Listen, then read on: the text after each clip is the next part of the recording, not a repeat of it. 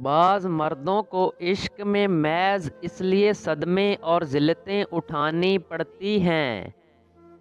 कि मोहब्बत अंधी होती है का मतलब वो ये समझ बैठते हैं कि औरत भी अंधी होती है। मोहब्बत आपको हर जानदार में नज़र आएगी।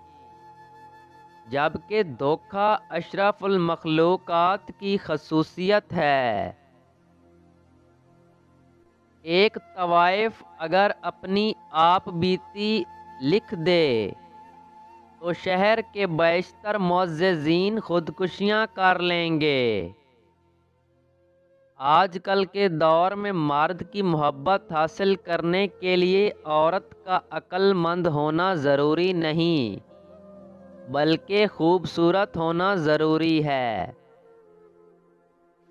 मोहब्बत में किए जाने वाले तमाम दावे और वजाहतें वक्ती होती हैं, जिन्हें सोच सोच कर इंसान अपनी बाकी ज़िंदगी भी जहन्नम बना लेता है।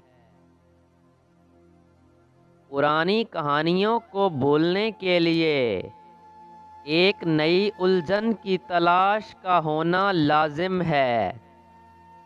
औरत उस मर्द की तवज्जो के लिए तरसती रहती है।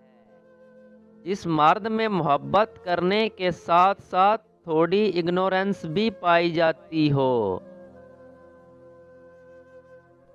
अगर आप जानना चाहते हो कि कोई सकाफ़त कितनी तहजीब याफ्ता है तो देखो कि वो अपनी औरतों के साथ कैसा बर्ताव करते हैं।